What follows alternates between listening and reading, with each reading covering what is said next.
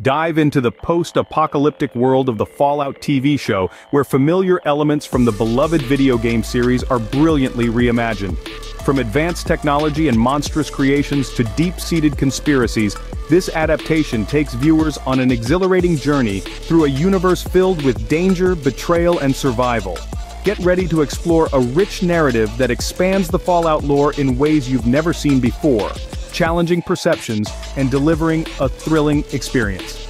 Let's uncover the innovative twists and shocking revelations that set this series apart from the game. Number 1. In the thrilling adaptation of the Fallout series, the iconic Pip-Boy isn't just a wrist-mounted gadget anymore, it's your gateway to survival and intrigue.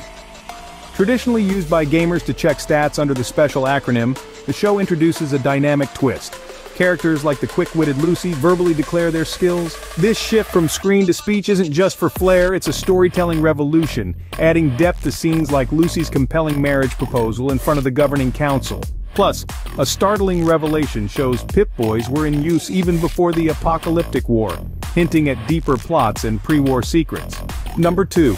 The series doesn't stop at reimagined gadgets, it ventures into the eerie origins of the Gulpers. Forget radiation mutations. The show unveils these monsters as Vault experiments gone horribly wrong. A chilling scene where a Gulper devours a Vault-Tec scientist reveals that these creatures were engineered in Vault 4, splicing human DNA with animal genes for better radiation resistance.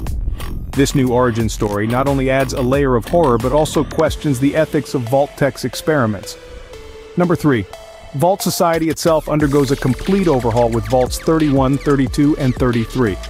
Unlike anything seen in the games, these vaults form a tripartite society, an entirely new experiment in communal survival.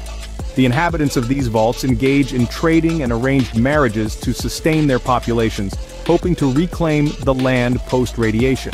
However, beneath this cooperative facade lies a web of sinister agendas stemming from the ominous Vault 31, presenting a narrative ripe with betrayal and secrecy. Number 4. The show also drops a bombshell about the Fallout universe's backstory.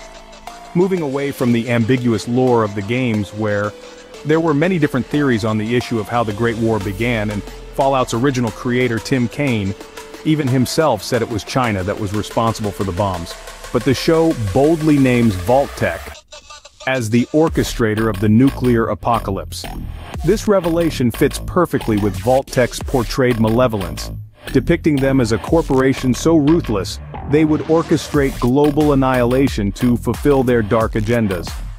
Number 5. The series reshapes the geographic and political landscape with significant changes to Shady Sands, the heart of the new California Republic.